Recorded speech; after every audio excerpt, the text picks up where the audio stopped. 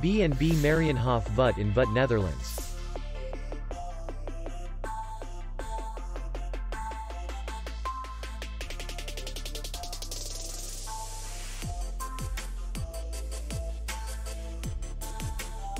The hotel is in the city center.